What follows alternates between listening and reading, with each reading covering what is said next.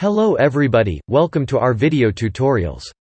In this video, we show you how to use Localization Tool. The Localization Tool is designed for global users to let them customize EasyGen 3000 XTHMI in a selected language. The tool enables, what you see is what you get method, making it extremely easy to use. Let's get started. Go to woodward.com. Find Localization Tool. And download the file. Install the application. Start the localization tool from your hard disk. At the Ribbon project, you'll find the menu points New, Open, and Merge. If you choose New, a submenu opens, where you can define the conditions for your new project. This contains the name of the project file, the location where it should be stored, and the directory of the matching package.zip file for your EasyGen.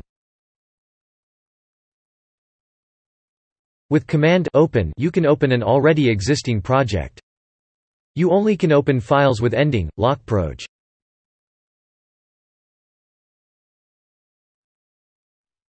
Merge gives you the possibility to reuse already translated texts in new projects.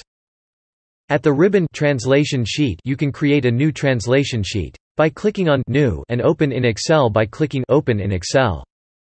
At Ribbon Build you can build your resource file when all needed changes in the translation sheet are done and checked. Ribbon HMI simulation is only active when you are working on a file, and gives you the possibility to check your language changes on a simulated HMI. Ribbon Help offers a more detailed description of the single functionalities of the localization tools. And at menu point, About, you can check which version of the tool you are currently using.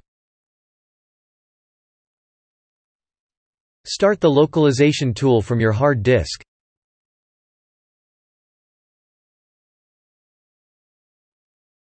Go to Ribbon Project and choose New from the menu. Name the file. For the location choose a directory where the project files should be stored. Choose the correct package directory for your device. The package.zip file is stored on your EasyGen device and should be copied to a local directory. Click OK. A new window opens and the localization tool, is creating the new project. An HMI visualization window is opened. Now select New from the translation sheet menu.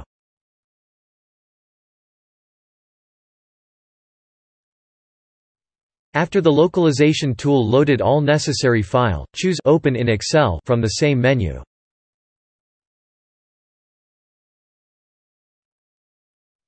All editable texts are opened in an Excel sheet. First, you need to activate all scripts. Then, click the Clear button in the Excel sheet.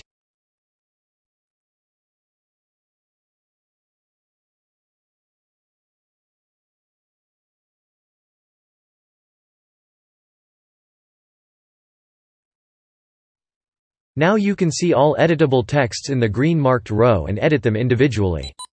For example, here and here.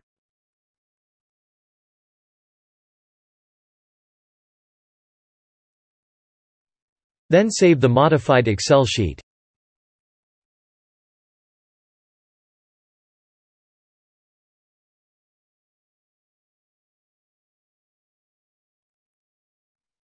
Now you can check your modification in the HMI simulation.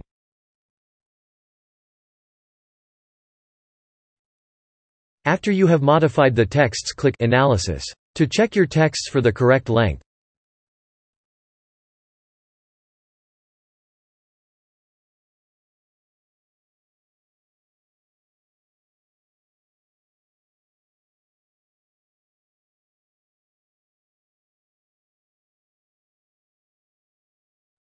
Name the file.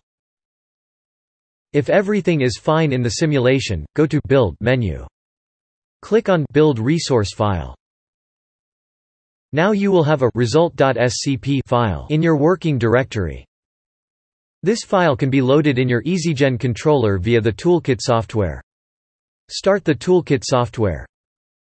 Choose proper W tool file.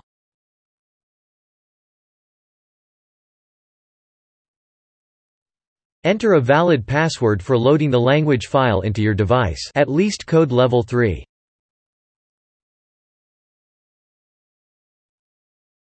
Go to Load application in the main menu. Click Next after you have read the safety warning. Choose the directory where you have stored your modified language file.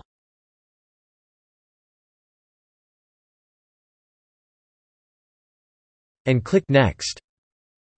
Click Next at the next pop-up window. Now the EasyGen is forced into the bootloader mode. And the language file will be transferred to the EasyGen. Now the EasyGen hardware will be restarted automatically by the Toolkit software. A warning screen in the EasyGen is shown. Don't cycle the power supply. The EasyGen will be restarted again by the software. Now the software will show up the successfully loading of the file. That's all for now. Thank you for watching our video. See also our other video tutorials.